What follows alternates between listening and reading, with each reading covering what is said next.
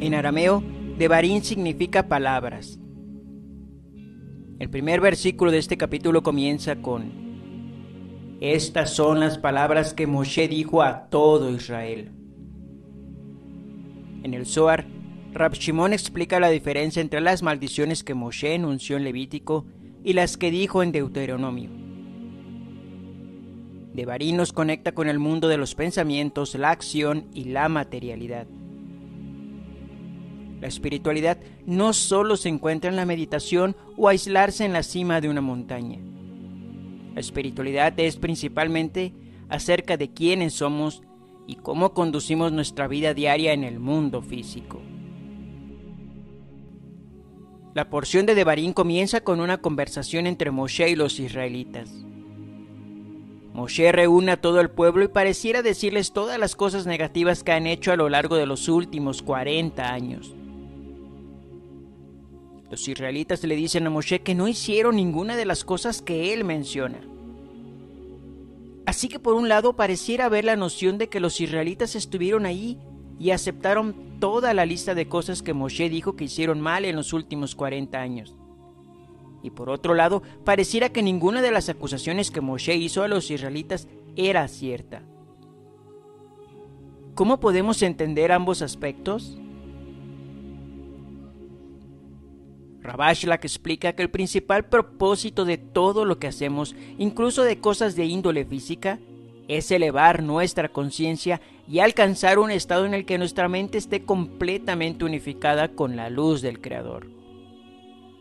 Para poder alcanzarlo debemos purificar la mente. La mayoría de nosotros sabemos que cuando hacemos una acción negativa la recordamos y si alguien trata de llamarnos la atención de esa acción negativa que hicimos, podemos admitirla. Pero caemos muchas más veces en nuestros pensamientos que en nuestras acciones. Y esto es un problema porque esos pensamientos negativos limitan nuestra capacidad de conectarnos con la luz del Creador. A fin de que podamos llegar al estado por el que vinimos a este mundo, para que nuestra mente se pueda conectar verdaderamente con la luz del Creador, Debemos extraer y purificar todos los pensamientos negativos que hayamos tenido.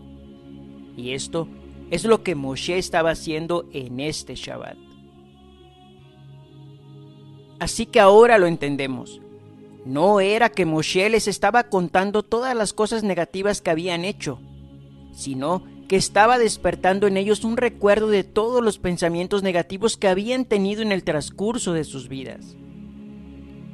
El Zohar dice que tenemos que saber que la energía creada no solo con cada palabra que decimos y cada acción que realizamos, sino también por cada pensamiento que tenemos, perdura por siempre. Y a menos que podamos extraerlos y cambiarlos, no podremos elevarnos y conectarnos realmente. La razón por la que estudiamos y leemos el Zohar es para desprender nuestra mente de la abrumadora conciencia de este mundo y adherirla a la verdadera conciencia.